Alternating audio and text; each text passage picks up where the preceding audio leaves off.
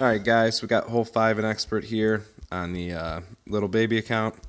So basically, what we're going to try to do is we're going to try to full top spin it, and we're going to try to run. We're going to try to run it down the hill to the right. So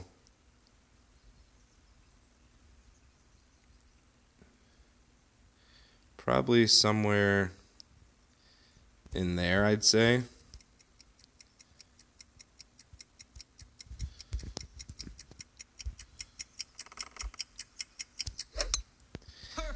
So we'll see how this goes, and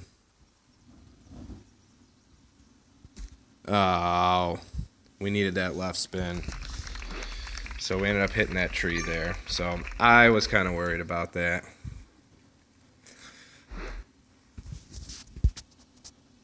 This is going to be um, it's kind of going to be a tough hole for for a lot of people, I, I think, and then a lot of people are going to get some easy eagles. So um, I'm going to have to try to figure out how I really want to play it.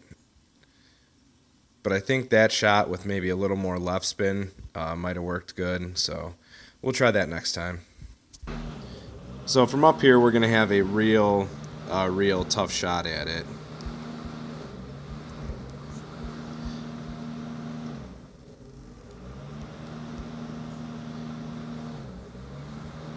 So we're basically at min distance thorn. Um,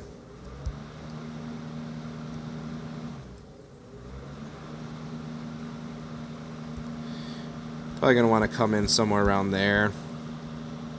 And we're going to adjust a little over four rings, uh, just because it is downhill. So we'll see how this one comes in.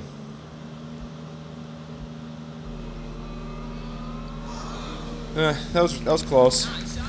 That was really close. So, not not a terrible shot, but see you guys on hole six.